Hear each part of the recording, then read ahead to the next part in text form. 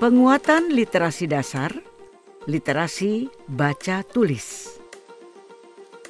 Literasi baca tulis merupakan pengetahuan dan kecakapan untuk mengajak orang tua dan guru untuk menjadikan contoh berliterasi baca tulis.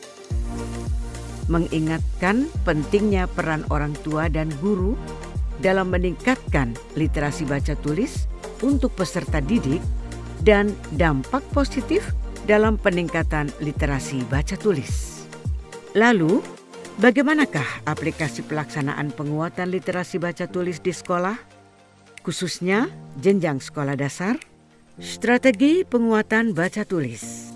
1. Menyediakan sarana lingkungan fisik yang memberikan stimulus baca tulis kepada peserta didik serta lingkungan berkarya atau makerspace yang memfasilitasi interaksi baca tulis.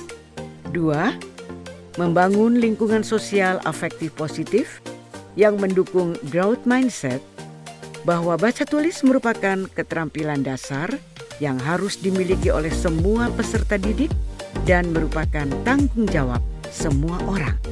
Bukan hanya peran dari guru, namun juga orang tua. Tiga, mengimplementasi berbagai program sekolah yang komprehensif dan sesuai untuk berbagai kelompok peserta didik. Empat, menekankan penalaran dan proses pemodelan pemecahan masalah di dalam mata pelajaran lintas kurikulum, di mana diperlukan baca dan tulis. Pada saat guru non-bahasa turut memperhatikan baca tulis peserta didik di dalam mata pelajaran lintas kurikulum, Hal ini dapat meningkatkan pembelajaran pada mata pelajaran tersebut yang disajikan melalui teks baca tulis dengan baik. Dengan demikian, akan membantu siswa dalam memahami pelajaran.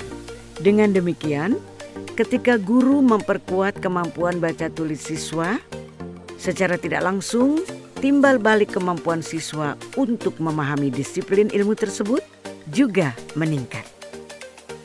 Hal ini karena membaca dan menulis adalah ilmu dasar untuk melanjutkan ke ilmu lainnya. Jika sudah bisa membaca dan menulis, ilmu lain dapat dipelajari dengan mudah.